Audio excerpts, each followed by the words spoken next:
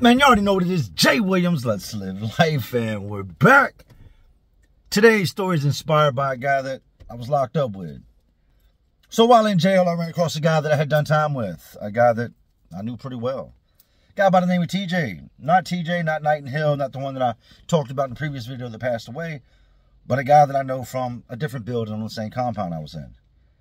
Actually spent a good amount of time with this dude. He would always be in and out of our building trying to hustle this, hustle that, trying to collect this, collect that. TJ's a heavy set black guy, probably 6'3", somewhere around 300 pounds. Loves to play poker, is great at poker, and will take all your money on the poker table. TJ also knows a lot of the guys that I've talked about in my videos. One in particular, Radar. Radar, Radar, Radar. I worked maintenance with Radar. Boss once told him, he said, Radar would rather tote a boy before he tote a tool. At which we all laughed. Radar was also a booty bandit. Radar had a thing for white dudes. And Radar, by all means necessary, with his life sentence, would take it. Oh, yes, indeed. He would take it. Radar had a name for himself. Radar had been down over 20 plus years when I met him. And I think I met Radar around 2008, 2009. And then I would work with him for many years after that. But he had made a name for himself that uh wasn't good. He was known for pushing things to the limit, if you will. He was known for taking things where most people wouldn't take it. And like I said, he was going to get what he wanted by all means necessary. Radar was a guy that would fight to get what he wanted. He would also bring weapons into play. Radar was not a good man. I'm not going to say if Radar deserves to be in prison for life, but based off of the things he did while in prison, hmm, you can make your own judgment. I'm not God. We go out one day a week. We get to go outside. When I say go outside, we're on a roof with brick walls around us and chain link fence on the ceiling or whatever you want to call it, but you can see the sky. It's mandatory. You go out once a week. And when you go out, they come in, they tear cells up, they look for things, and it's jail. So you really don't have much. But it's sitting there, I keep looking at TJ. Like, man, I know this dude. And he looks at me goes, you was up Greensville. I said, yeah, where I know you from? He's like, TJ, 8 building. You was in 7 building. You was in there with da da da da da. And I was over there with da da da. And I'm like, I do know you. I remember you. I used to, da da da. We talked. And he says, hey, tell these boys about such and such. And tell, like, we get to talking. And he brings up a story that completely slipped my mind. It had been a long time. And I've talked on Radar. I've talked about things Radar did, type of person Radar was. You know what? We're just going to go ahead and get into today's story. When a booty bandit tries a wrong boy, when a booty bandit tries a gang member, thought he could just take it from any old white boy he wanted. Boy, oh boy, was he wrong. He tried the right one this time and got something he had never gotten before. With all that being said, you know I've seen it. You know I've lived it. So let's relive it. We start with Radar. I guess we start with his initial incarceration. Radar came into prison when prison was a much different place. Radar came into prison prior to the whole trans movement, prior to so many guys coming out the closet. Radar came in 20 plus years prior to me meeting him. Radar's got natural life, no possibility of parole. Radar is, he's a killer. No other way to put it took some lives, and for that, rather than take his life, they sat him down for the rest of his life. Like I said, the trans movement hadn't started yet. Guys coming out the closet hadn't started yet. When he came in prison, if you've seen somebody walking around in tight shorts and a, and a homemade skirt with lipstick on, I'm talking M&M's on their lips, whatever they could use, highlighters, magic markers, Kool-Aid, if you've seen somebody walking around as a female, nine times out of ten, it wasn't by free will. Nine times out of ten, another man had pressed up on that man and made that man do that. That guy wasn't strong enough to hack it. Or just enough people rode down on him that even if he was, in the end, he didn't have a say-so in the matter. Radar was one of those guys that would, when he was younger, realized well, I'm not going to ever be with a woman again. Now, not all men are like this, but he realized I'm not going to ever be with a woman again. So I got to make best with what I have. So what did he choose? To start victimizing other guys. But not just any other guy. He had a thing for white men. Now, upon meeting Radar, he was one of many, many, many booty bandits I met along the way. What's a booty bandit? A booty bandit is a man that takes the innocence of another man. They come in all shapes and sizes black, white, short, tall, fat, skinny. Some are real aggressive and muscular, some are even feminine. I've met some that acted like a girl and that would pull the knife, pull the knife, Big Dana, and take what they wanted. Put it right up under it. Don't get it to me, I'll cut it off. Booty bandits are a common thing out here. And people ask, well, why don't y'all do anything to them? For number one, there's no unity. For number one, there's not any group of men that are that are going to just come together and say, hey, we're going to go deal with him. No, it's pretty much a one-on-one -on -one basis out here. Every man for himself. So you go over there and you mess with that if you want to, and you might be on the wrong end of a knife when it's all said and done. He might take his focus off of whoever he was messing with and now turn his attention to you. Now, these aren't normal guys. You're thinking, well, if he's a man just like me, no, this is not a man just like you. This is a man with nothing to lose. This is a man that will take your life because they can't do anything to him. They abolished parole in Virginia. So if he decides to take your life, the most he's going to do is what he's already doing, life. If you come in with five, ten years, your goal is to get out of prison, go home, be with your family, be a productive member of society again. The last thing you want to do is get in prison and do something in prison, that means you're never going to go home again. And I've seen that as well. Upon meeting Radar, other people had already told me about Radar. When I first started off, I was in Nine Building. Everybody starts off in this building called Nine Building. That's kind of the transition building. They're going to put you in this pod down there, and then they're going to figure out where you're going to go in the compound.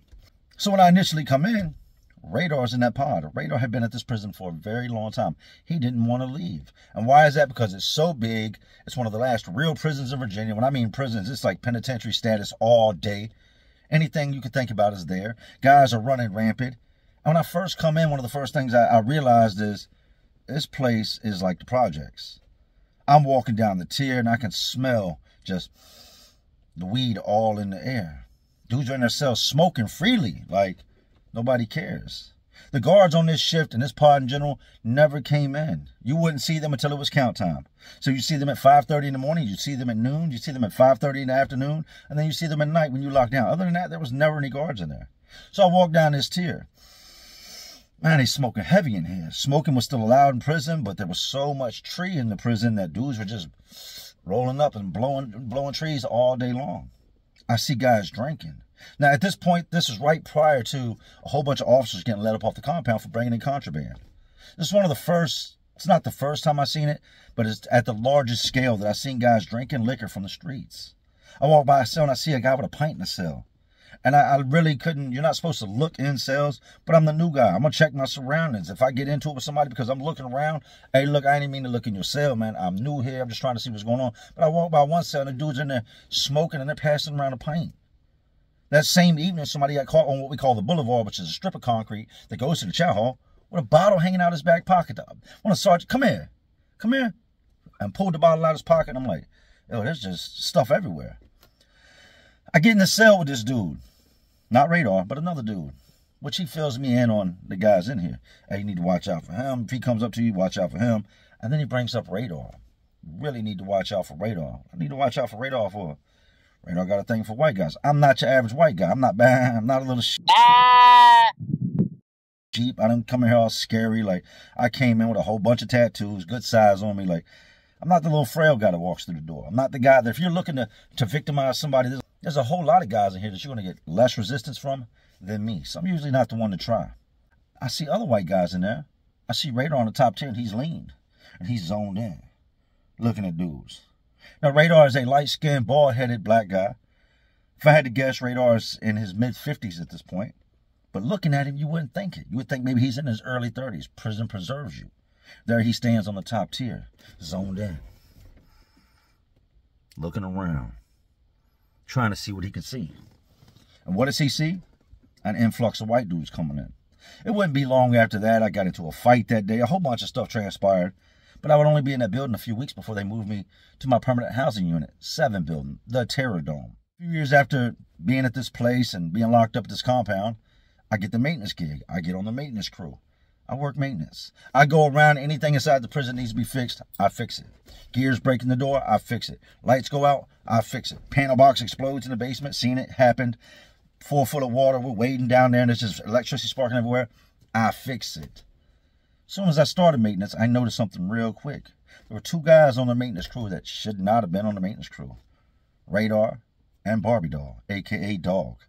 Radar, hey, you was down nine building. Yeah, I was down nine building. Oh, that's what's up. My name's Radar. I know who you are. I mean, like, everybody knows who you are. Everywhere you go, you either got a boy with you or you're chasing a boy, or every other day you got a new boy. We all know who you are, especially if you're a white dude. We 100% know who you are because you like to hunt white dudes. Oh, that's what's up. That's what's up. Radar never tried his hand with me. Never came at me like that. I didn't put off any feminine traits. I didn't put off anything that said, hey, you can try me. Things are going to turn out well. No, I'm not the one. So, like I said, I never had any issues with Radar, but Radar did something that was just weird. When we didn't have anything to fix in the buildings, these floor buffers, these guys would use these things 16, 20 hours a day. And then they would go to the next where they'd be used 16, 20 hours a day. They were ran non-stop to the point they would break down. The brushes in them would go bad. Different things would happen. And we would have to take these things into the maintenance shop and fix them along with washers, dryers, televisions, like fans, all these different things throughout the prison. They're not into replacing big items. No, they buy repair kits and we fix them. The maintenance shop gets hot in the summer, so we open the maintenance door. When you open the maintenance door, all the new intakes come in and they just get into the prison. They open another door where they come down this hallway, and that is positioned right across from the maintenance shop. So any new guys that come in, we see them before anybody else sees them. Radar would sit on his bucket fixing these buffers, fixing whatever, and he would face that door. And as new guys come in, Radar would lock in. Hey, hey, you see that girl? And we'd all look over, and then you realize real quick, we're in prison. What girl? Unless he's talking about a guard, we know all the guards. Man, you see Shotty, you see the girl. You see the girl. And Radar would hop up and run out the maintenance shop and chase after new guys. Now, if you go look behind Radar, Radar's chasing a boy. It ain't no girls. He's chasing a boy. Hey, hey, what, what your name is? My name Radar. My name Radar. With his round glasses and his little army man physique that he kept intact, like he was like just going out on date night. Like this dude, he's one of them guys. He'd be a, considered a musclehead in the real world. That's always chasing females, except these weren't females. I watched him do this time and time again. There were times I seen the boys, hey, what you doing?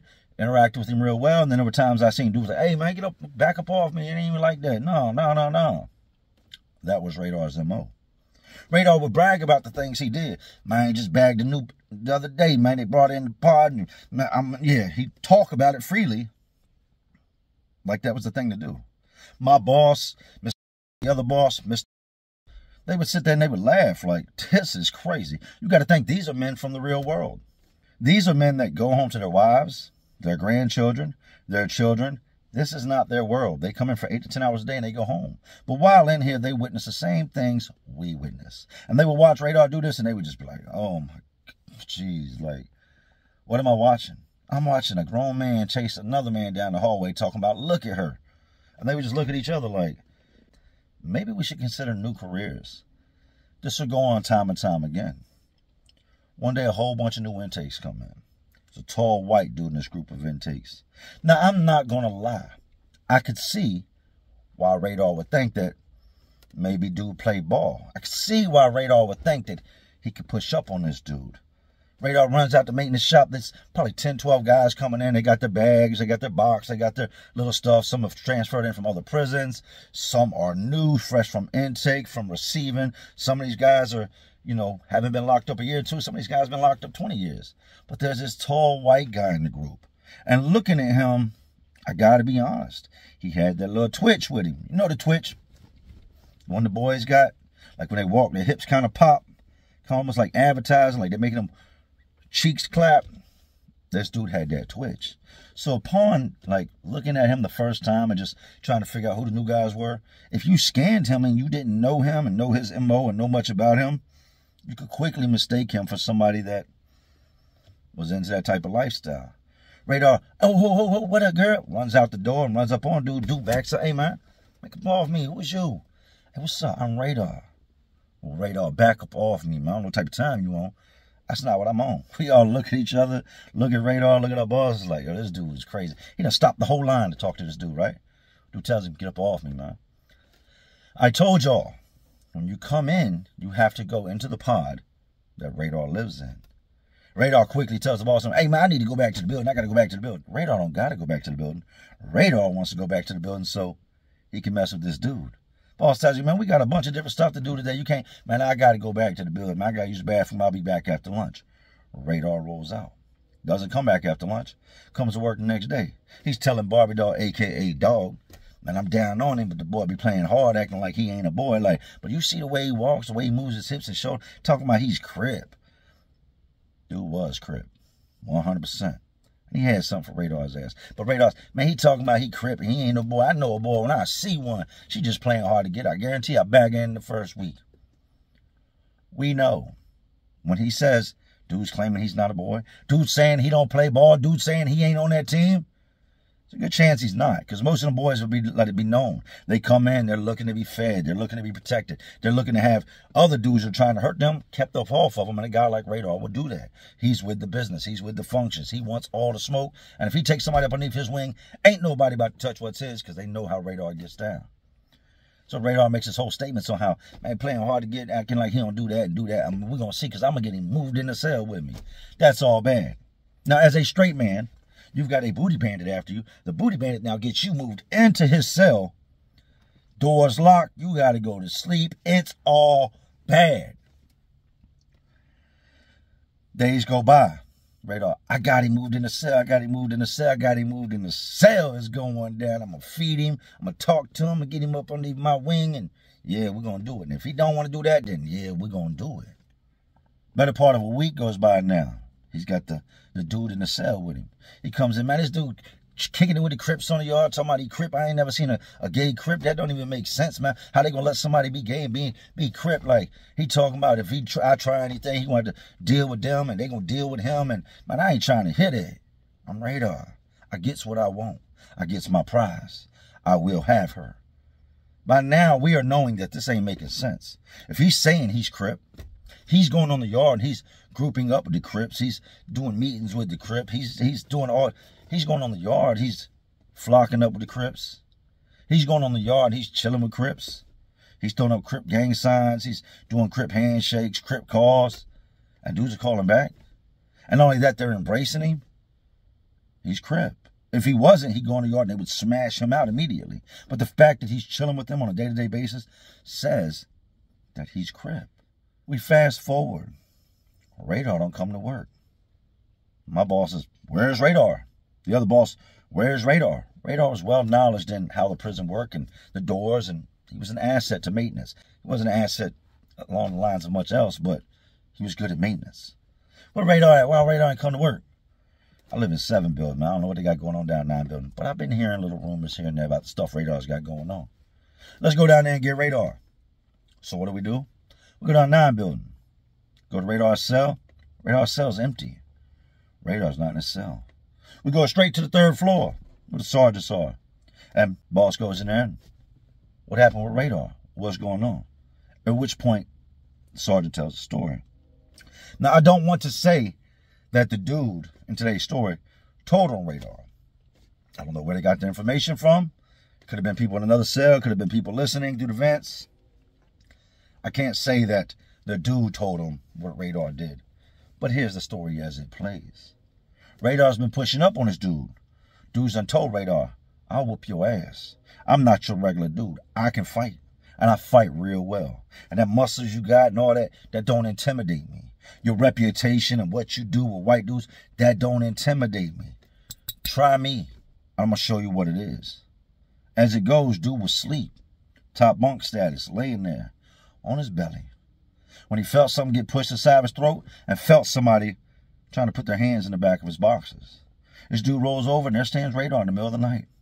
No clothes on. Knife to the side of his throat and told him it's going to go one or two ways. It really don't matter to me. And he's got his fingers out and he's in the back of this boy's boxes. And y'all can pretty much imagine what he's trying to do with his finger. The dude rolls over. Radar pushes the knife to his throat tighter. He pulls away from him and punches Radar in the face. Jumps down off the bed, and commences to whooping Radar's ass in that cell to the point that Radar was pretty much Gonna do what we all knew he was gonna do. He's not play pimping with that knife. He didn't have that knife in there that night with the risk of getting caught with it by the guards for any reason other than one. Things were gonna go the way he wanted them to go, or he was gonna use the knife. Crip dude commences to whooping Radar's ass in there. Beats Radar from the side of the bunk all the way to the door. Hops off the bed. Bam, bam, bam, bam, bam, bam. Get off me. Bam, bam. What you trying to check my oil? Bam, bam. Your fingers don't go there. What I take? Bam, bam. Beats Radar down. Well, he's got radar down. He's hitting radar. Radar reaches up. Boom. Hits him with the knife. Dude backs up. Ah. Sticks him a couple more times. Boom. Boom. By now, the officers in control booth see the commotion going on in the cell. They call the people in there. Dares radar beat the hell up. And the Crip dude stabbed several times. They end up taking radar out. They end up taking the Crip dude out. They take them both to the hole. A couple months later, radar returns to work. Doesn't say much about the incident. Goes right back to, what up, girl? Looking out the door, chasing the boys. Crip dude, we never seen him again. But you better believe this. Anywhere that he goes, he's now got his respect. He already had respect. The Crip dudes on the yard where they knew who he was. Yeah, he might act a little feminine, but that's not really who he is. That's just kind of how he walks. Doesn't mean anything. Don't judge a book by its cover. I don't think the dude pressed any charges, because had he pressed charges, Radar would not have came back to work. I don't know what he said. I don't know how Radar got out of it. I don't know why Radar didn't get shipped 10 hours away to the mountains. Most guys do. I don't know where the knife went. I don't know if they found the knife. I know if they had found the knife, which there are a whole lot of different places you can hide a knife in a cell. As soon as you see the cops coming, you can bam, bam, hide it real quick. I'm not going to get into it, but I can promise you we can make it disappear and then make it reappear all in a matter of seconds. But they didn't get a knife or Radar when they came back to the yard. But Radar came back, and I guess he didn't really want to say much. Who wants to say, yeah, I tried to check somebody's oil in the middle of the night with my finger while they were sleeping, got my ass whooped, and then had to poke the man up with the knife? Yeah, prison's not a playground. And there are a whole lot of radars, Barbie dolls, dogs, big Danas. There's a whole bunch of those guys waiting for you to walk through the door. My advice to you, live your best life. Don't do what you see others doing. Think before you act. Because it only takes a split second to go from being out here and not having to deal with the radars of the world, to being in there and having a man try to hold you down in the middle of your sleep with a sharp piece of metal to your throat, attempting to go where no man has gone before. Radar, radar, radar. Sad, sad, sad. And to, to, to think back to how this man used to say, man, I don't deserve no, yes, you do deserve a life sentence. You do not deserve to be out in public. You if you're doing that with other men, you are a threat to females for sure. Now, I hate to talk bad about Radar, but we're not going to sit here and act like Radar was a choir boy. We're not going to sit here and act like Radar hadn't broken some of the most heinous laws there is. Not only while he was free, but it seems like once he got locked up, he just kind of took the law book and threw it out the window and said, if I want it, I'm going to have it. If I want to do it, I'm going to do it. Hey, I'm locked up. What can they do to me? Crazy, crazy, crazy. My next story after this is I got some jail stories coming, but I got to tell Solo's story. Solo was another guy I worked with who found somebody trying to do something bad to a female guard. And he got in the middle of it and tried to save that guard. Being a good guy.